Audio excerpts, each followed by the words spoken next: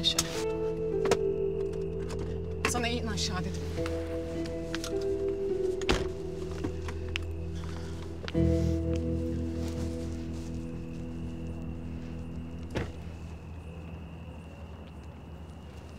Arzu Hanım. Neden buraya geldik? Eve bırakmayacak mıydınız beni? Sen söyle.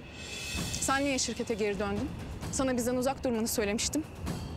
Selim Bey ısrar ettiği için döndüm. Acımıştır sana nedeni bu. Hasbel kadar bulduğun doğru bir tespit seni projede hak sahibi yapmaz. Sen insanların iyi niyetini suistimal ediyorsun. Bu proje için ne kadar emek verdiysen karşılığı neyse söyle ödeyeceğim. Ondan sonra da hayatımızdan çıkıp gideceksin. Kimseye de teklif etmeyeceksin. Arzu Hanım neden benden bu kadar nefret ediyorsunuz? Ben size ne yapmış olabilirim? Varlığından rahatsız oluyorum. İstemiyorum seni hayatımda, hayatımızda. Beni tanımıyorsunuz bile. Seni tanıyorum. Seni sandığından daha iyi tanıyorum.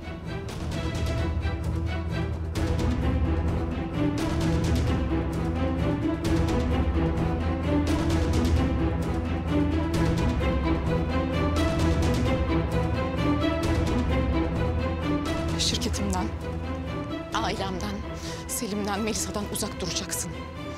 Buraya gelip benim kızımın hak ettiklerini çalmaya çalışmana izin vermeyeceğim. Benim kimseden bir şey çalmaya niyetim yok.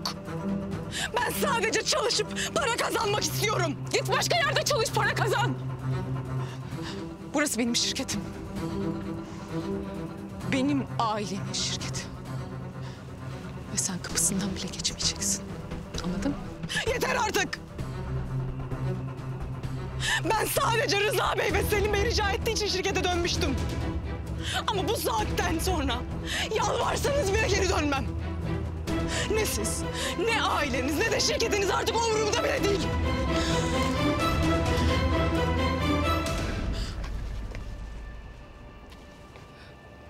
Arzu Hanım biliyor musunuz?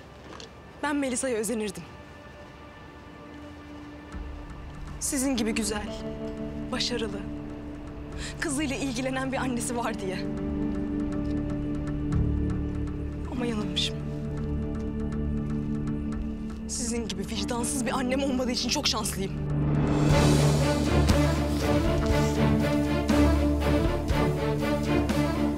Arzu Hanım ne yapıyorsunuz? Bırakır mısınız?